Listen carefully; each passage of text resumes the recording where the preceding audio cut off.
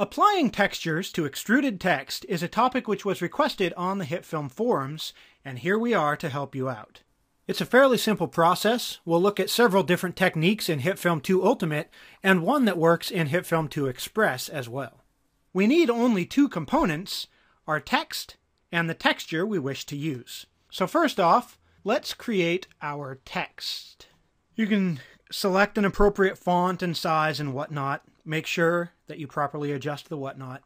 And now for the texture. You might use an image you've imported or it could be a plane on which you've created a texture using clouds or other HitFilm effects. It could even be a video if you wanted an animated texture. For this tutorial, I'm going to use a still JPEG of the back of some leather, which I have imported. So I'll add that to the timeline, and now we have two layers, our text and our texture. Next, we will apply a set matte effect to our texture layer. We'll grab our set matte and we're going to apply this to the texture straight off. And then let's turn off the text layer. Okay, so that's invisible, but the layer is still there. Double click the set matte to open its controls, and as the source layer, choose our text. Castang! We've immediately combined the shape of our text and our texture image. Now we need to add our extrusion, which will also go on the texture image layer. So we'll grab our 3D extrusion, we'll add that to the texture, and then in the controls, let's increase the depth of that a bit. There we go. 3D extruded textured text. This is the first and more proper method of texturing extruded text. You can now use a 3D point to control the extrusion. If we go to the position, transform that point. Now if we grab that, we can control that textured text in 3D, move it around however we want. So for this technique, note that the only layer that's actually visible is the texture. The shape and the extrusion are all happening on the texture layer. The text itself isn't even visible. A second method of texturing extruded text, which also works nicely in the Express version of HitFilm, involves extruding the text itself and then using the environment map to reflect a texture onto it. So I'm going to duplicate our original text layer I'll make this copy visible. I'm going to move it down to the bottom and we'll do our second technique here. I'm also going to add a second copy of our texture and I'm just going to change its name so we can distinguish between the two. I'll turn this texture off. And now on this copy, the key difference is that we're going to add our extrusion to the text itself. Once again, I'm going to make that extrusion a bit deeper, and then I'm going to change the color of the text, because in this technique, the color of the text will have an impact on the final appearance of our texture.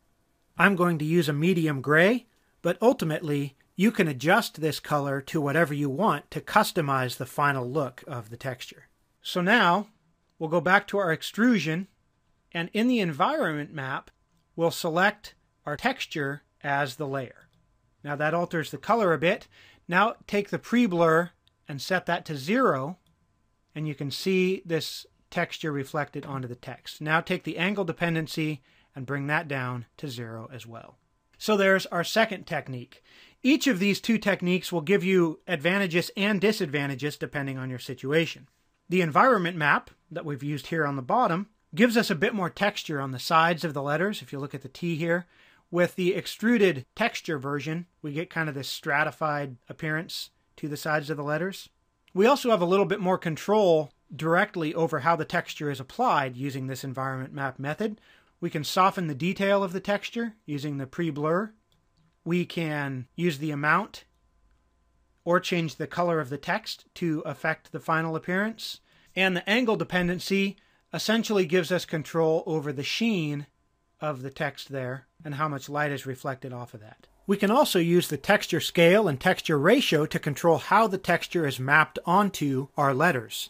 So if you want to give some finer detail in that texture there, you can adjust the texture scale to do that very quickly. So we have lots of control, but since this really is a reflected texture, it works best if the text is locked in place or you want the texture to move independently of the text. So if you're using a point to animate the extrusion, then you'll want to use the first technique we looked at. On the flip side, if you're in HitFilm Express, you'll need to use this second technique. But with the extruded texture, which we used in our first method here up top, As we saw, we can animate the text moving however we want without issue. And while we don't have as much control over the texture directly within the effect, we do have the option of adding additional effects to our texture image to modify its appearance. So we could easily add some blur or tweak the colors or contrast of that layer using additional effects.